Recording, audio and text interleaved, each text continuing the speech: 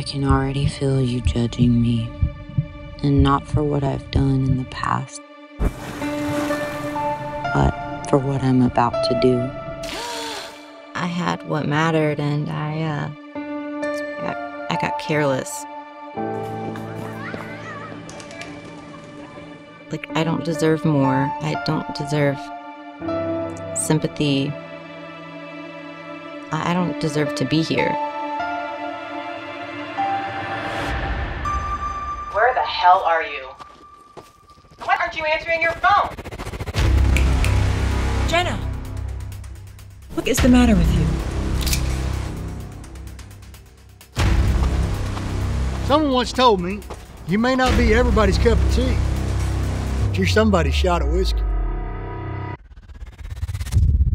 Excuse me, ma'am. My, my car ran out of gas and I left my wallet at home.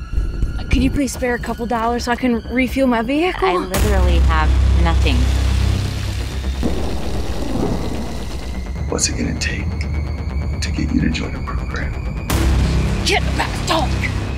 If Jesus wanted you to have a dog, he would have blessed you with a foal and a leash now, wouldn't he?